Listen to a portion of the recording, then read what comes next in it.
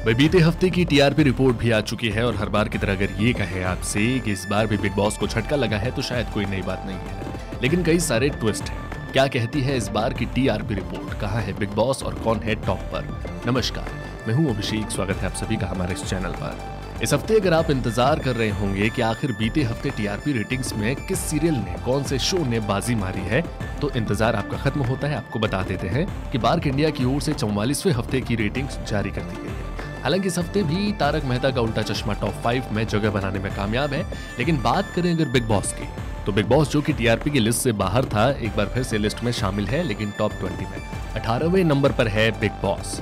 वहीं पर इस बार बाजी मारी है हर बार की तरह नागिन थ्री ने, पहले नंबर पर है टीआरपी की लिस्ट में, दूसरे नंबर पर कुंडली भाग्य, तीसरे पर कुमकुम भाग्य, चौथे नंबर पर कुल्फी कुमार बाजीवाला, पाँचवें नंबर पर ये रिश्ता क्या कहलाता है? वहीं पर केबीसी की बात की जाए, यानी कि कौन बनेगा करोड़पति की जनाब, वो इस बार सातवें नंबर पर है।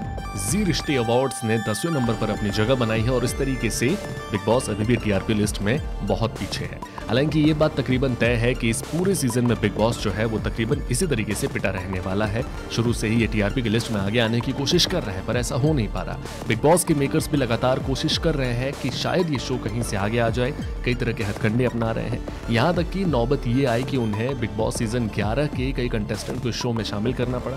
फिर भी कुछ खास बात बन नहीं पाई लेकिन बहरहाल पूरी टीआरपी लिस्ट में नागिन थ्री हर बार की तरह टॉप पर है और अपनी जगह पर काबिज है वैसे ऑनलाइन रेटिंग की बात की जाए तो बिग बॉस ने टॉप टेन में जगह बना रखी है, पर बार्क टीआरपी रिपोर्ट में ये अभी भी पीछे है, अठारहवें नंबर पर है। अब देखते हैं कि आगे आने वाले दिनों में कुछ होता है या नहीं, क्योंकि जैसे जैसे शो आगे बढ़ता है, वैसे वैसे कई ट्विस्ट और चीज़ें बढ़ती भी है। पर इस बार मामला बड़ा गर्म सा नज़र आ रहा है। क्या होता है सलमान के शो का आने वाले वक्त में पता चलेगा, पर अभी मामला कुछ खास नहीं है। फ़िलहाल इस वीडियो में इतना ही।